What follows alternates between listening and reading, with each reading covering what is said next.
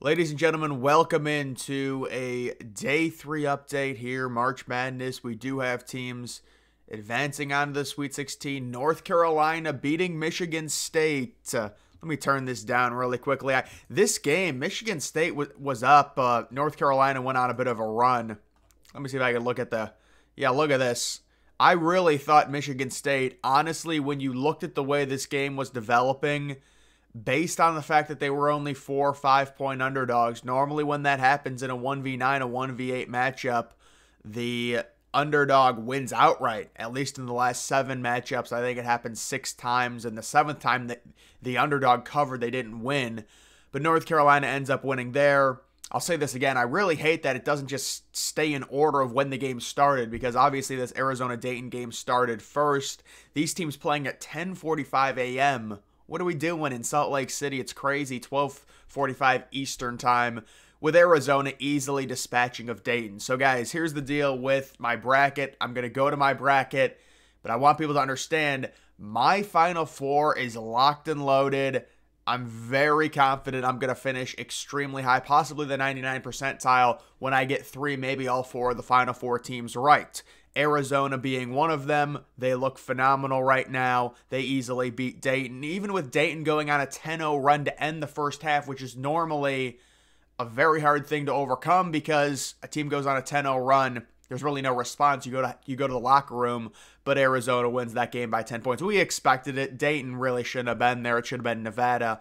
Iowa State beats Washington State. Washington State was up early. Iowa State ends up winning relatively easily, 67 to 56. Tennessee beats Texas in a very low scoring game. I don't know what happened to Texas this tournament in terms of both of their games being ridiculously low scoring. Texas scoring 19 first half points. And I do think this was one of the games I was watching and concerned about Tennessee. They end up not covering the six and a half, but they win, and that's all that matters. And Tennessee is my other two seed I have into the final four. I will say you look at Purdue the way they handled Grambling. I know they're a 16 seed, but maybe a little bit concerned about Purdue beating Tennessee. Either way, I do like Tennessee right now as a two seed to make the final four. Illinois beats Duquesne. That's the Duquesne team we expected to see. 50 to 26 in the first half. You got to love it if you are the Fighting Illini, you know, facing a team like Duquesne. Nothing against them, but very easy win. Would have been a lot tougher of a game if it was BYU, but BYU easily lost to Duquesne. Let's not act like that was a close game. Creighton beats out Oregon. Very tough for me. I did have the 11 seed Oregon Ducks as an upset potential into the Sweet 16, but Creighton gets it done in double overtime, 86 to 73. Really good fight from Oregon. It's unfortunate Gonzaga crushes t- Kansas in the second half. I think everyone expected this. A lot of people thought Kansas shouldn't have even moved on. The Samford win. They were mostly in control of that game, but Samford made a crazy second half comeback. The block that was called a foul. You know, Kansas was dealing with injuries. They were always a paper tiger going into this tournament, and people knew it. And that's why a lot of people thought they were going to lose in round one. They probably should have.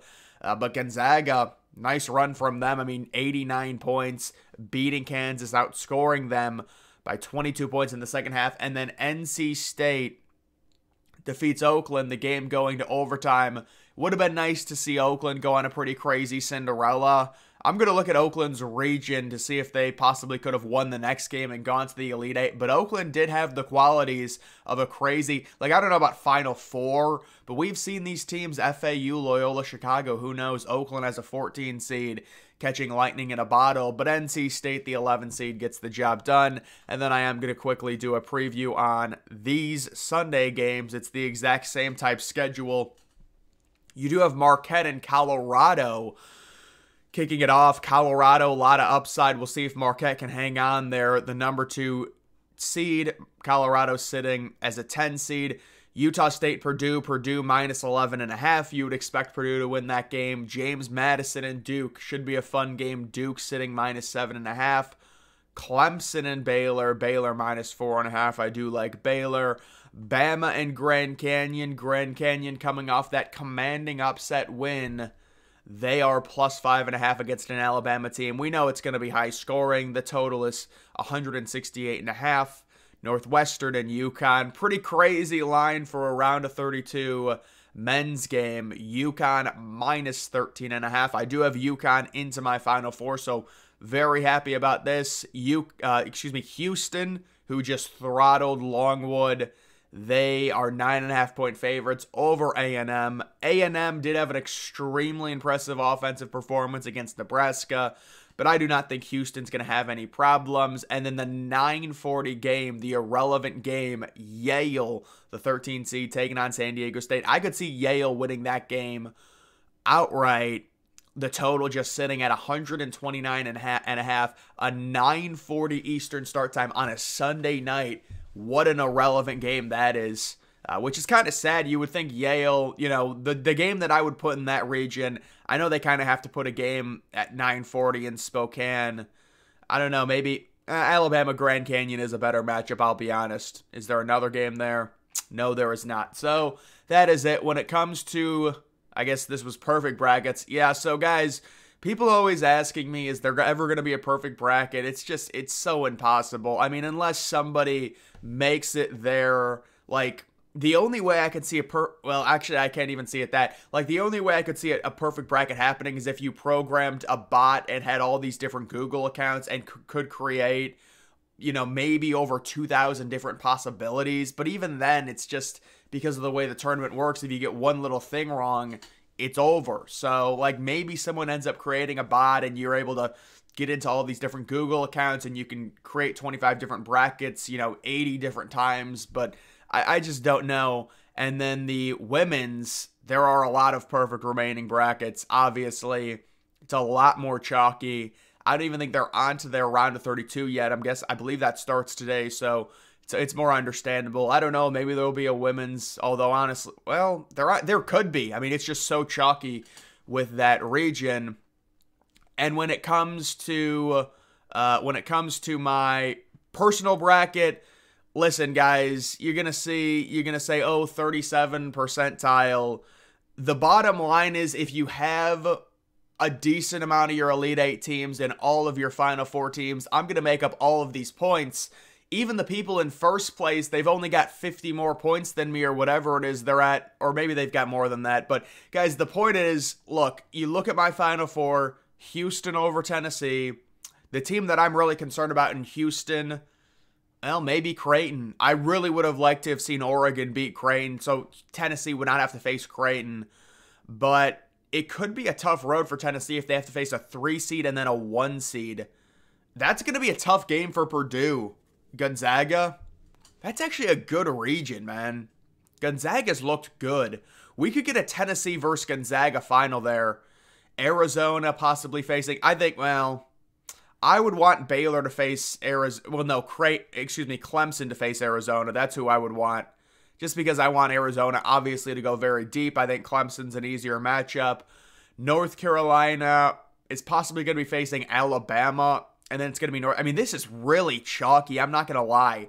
All the one seeds still remaining, all the two seeds still remaining.